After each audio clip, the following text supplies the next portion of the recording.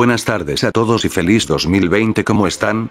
Hoy arrancamos el primer video del año, con rumores y noticias de Godzilla contra Kong. Empecemos. ¿Motra realmente regresará en Godzilla contra Kong? De los cuatro Tokaiju presentados en King of the Monsters, solo Godzilla y Rodan salieron con vida.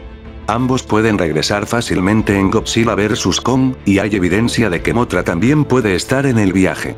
En primer lugar, los créditos de King of the Monsters establecen el regreso de Motra al revelar la existencia de un nuevo gigante, y los créditos provocan que el huevo pueda pertenecer a Motra.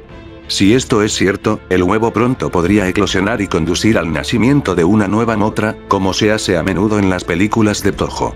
Motra es esencialmente una criatura eterna en algún nivel, renaciendo constantemente. ¿Puede ser Motra? Quién sabe, el director dijo que en las escenas de huevos de Pascua, hay evidencias para crear un buen manejo del Monsterverse, solo hay que saber manejar esas migajas de pan.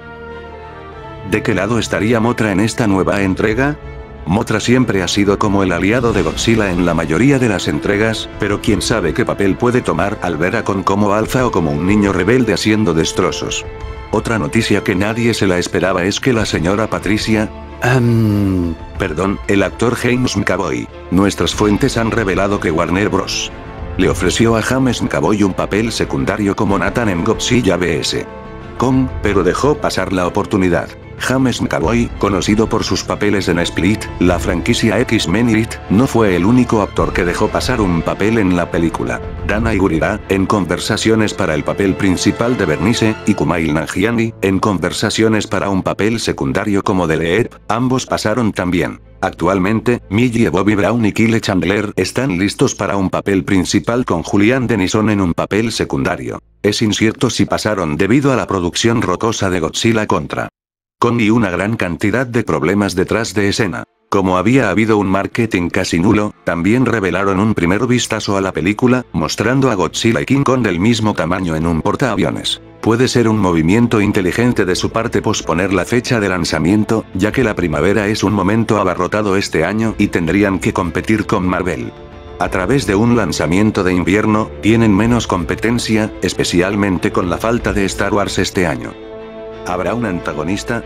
Viendo la trama filtrada es muy probable que haya un antagonista, y veremos la unión de Godzilla y Kong uniendo fuerzas para derrotar una amenaza más grande. ¿Saldrá Destroya?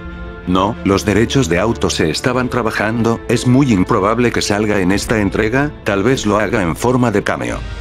Bueno amigos, esto es lo que tenemos hasta hoy, no son muchas cosas pero es lo que tenemos hasta ahora.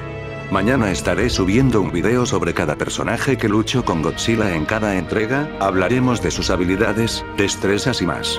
Así que amigos ¿qué opinas respecto a esto? ¿Te gustaría que esto ocurra? Déjame tu opinión en la caja de comentarios. Soy Moon y nos vemos en el próximo video.